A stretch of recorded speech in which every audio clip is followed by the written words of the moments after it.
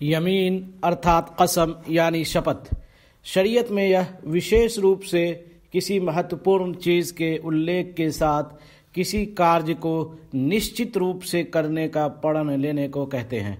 قسم کے سیغے ارتھات وچن میں اللہ کے نام کا ہونا آوشیک ہے۔ جیسے واللہ والرحمانی اتھوا اللہ کے وشیشن کا، جیسے و عزت اللہ و جلالی قسم کھانے کی حکمت کسی چیز کو کرنے کا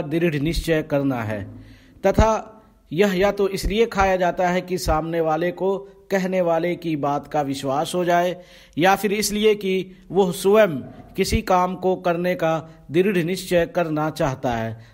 اتھوا کسی کام کے نہ کرنے کا۔ یا سامنے والا اتھوا کوئی بھی کسی بات میں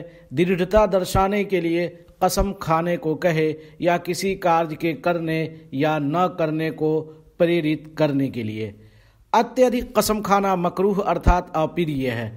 اللہ تعالیٰ کا کتھن ہے، وَلَا تُطِعْ كُلَّ حَلَّافٍ مَّهِينٍ۔ ارتھات، جو بہت زیادہ سچی جھوٹی قسمیں کھاتا ہو۔ اللہ تعالیٰ کا فرمان ہے، وَاحْفَظُوا أَيْمَانَكُمْ۔ اللہ کے سوا کسی اور کی قسم کھانا جائز نہیں ہے۔ رسول اللہ صلی اللہ علیہ وسلم نے فرمایا، اللہ تعالیٰ تم کو اس بات سے روکتا ہے کہ تم اپنے پروجوں کے نام کی قسم کھاؤ۔ اتہ، جو قسم کھانا چاہے، وہ اللہ کی قسم کھائے اتھوا چپ رہے۔ قسم کے انیک پرکار ہیں، جیسے دی گئی سوچنا کی پشٹی کے طور پر قسم کھانا۔ دی گئی سوچنا یدی صحیح ہے، تو یہ قسم سچا ہے۔ کنتو قسم کھانے والے نے یدی حق کو چھپانے اتھوا جھوٹ کو سچا ثابت کرنے کے لیے قسم کھایا ہے، تو یہ یمین غموس ہے کیونکہ یہ قسم کھانے والے کو پاپ میں لپت کر دیتا ہے۔ سوائے یہ کہ ایسا کرنے والا توبہ کر لے اور ادھیکار والے کا ادھیکار لوٹا دے۔ اسی پرکار سے بھوشیہ میں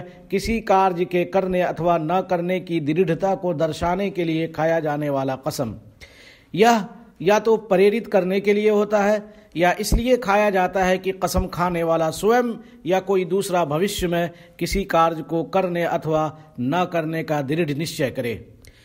جیسے کہے، اللہ کی قسم، میں اموک ویکتی کے پاس جاؤں گا۔ اتھوا یوں کہے، اللہ کی قسم، میں اموک ویکتی کے گھر میں پرویش نہیں کروں گا۔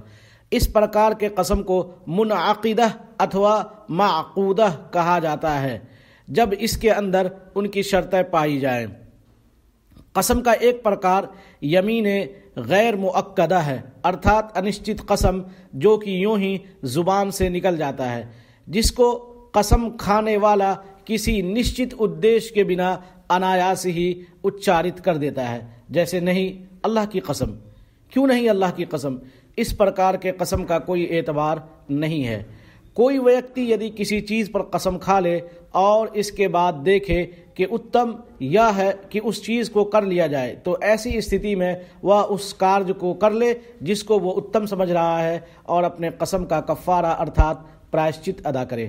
اور کفارہ کیول انہی قسموں میں ہوگا جو قسم سا ادیش کھایا گیا ہو، جیسا کہ اللہ تعالیٰ کا کتھن ہے لا يؤاخذكم الله باللغو في أيمانكم ولكن يؤاخذكم بما عقدتم الأيمان.